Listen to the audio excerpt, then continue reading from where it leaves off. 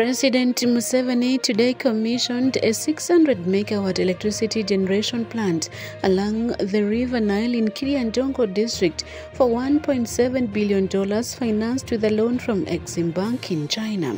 The Karuma Hydropower Project KHP was constructed by Sinohydro Corporation in collaboration with the Uganda Electricity Generation Company Limited. This is a great achievement considering where we started just two decades ago.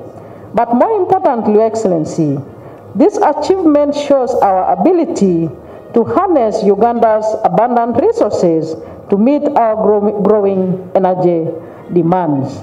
Despite the seemingly sufficient supply currently, the Ministry of Energy and Mineral Development says that they are unsettled and that they are embarking on developing more generation plants with a target of 52,000 megawatts by 2040. During the commission ceremony, Engineer Ziria Wako, the CEO of Electricity Regulatory Authority ERA, informed President Museveni that Uganda now has enough electricity with expectations that citizens will enjoy lower end user electricity tariffs. Now, what constitutes the tariff? 60% of what the end user consumer pays is the cost of generating electricity. So as you may be aware, Karuma and Simba are publicly developed projects.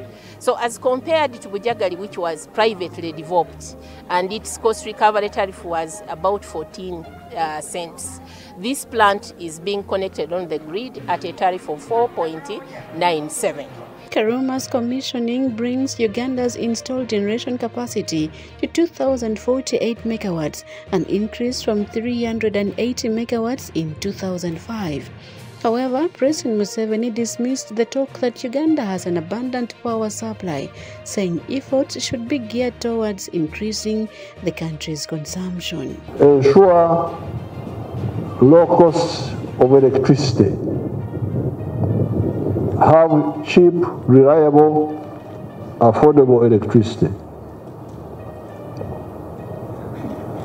Number three, the cost of money in the banks, especially for agriculture and for manufacturing. The money from the banks must not be very must not be high interest rates. Because if it is high interest rates, how will you how will you make profit? The National Social Security Fund NSSF has announced 11.5% interest rate for savers for the financial year 2023-2024, an increase from 9.7 that was declared the previous year. This follows the improved performance of the fund, whose total assets grew at a record 19% to 22.1 trillion shillings.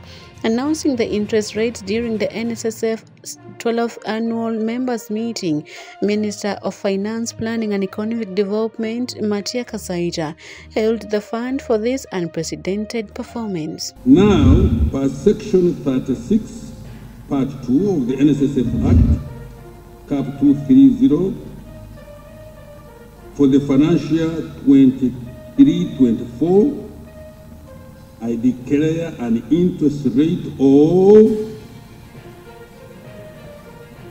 11.5. Kasaija also hailed the fund for investing in areas that he said create jobs for Ugandans, warning that the country faced a disaster if the more than a million young people joining the labor market annually are not catered for in terms of job availability. If we are not careful, people may say Kasaija is always The army of young boys and girls who are coming on the labor market yearly. I think, yes, is it one million something? Hmm? Is it one million something? It's one million something. We shall tell you later on when we get these figures. Because I'm really concerned myself. The fund's managing director, Patrick Ayota, expressed pride in their contribution to the economic and social development of the country, saying the fund now accounts for a quarter of the government's total credit. Farmers in the Elgon region have been advised to adapt their agroforestry farming system to promote sustainable agricultural practices and enhance regional food security. During a three-day awareness workshop organized by Makerere University Students Department of Geography, Geoinformatics and Climate with Agroforestry for People, Ecosystems and Climate, AFPEC at Wash and Wills Mbale City, Professor John Tabuti highlighted the need to raise awareness and availing information to increase on the uptake of agroforestry practices in the Elgon region. We chose, uh, I mean, the area was chosen because of the, uh, the much growing of coffee and also that coffee is an agroforestry system. There are trees interspersed with crops and other trees. So that's why it was chosen. Uh, the youth here are very critical because you cannot talk about environmental stewardship or uh, nature, nurturing the environment, conserving the environment, and think about the future without involving and engaging the youth. So one key player or stakeholder that we are working with on this project are the youth as well as the women.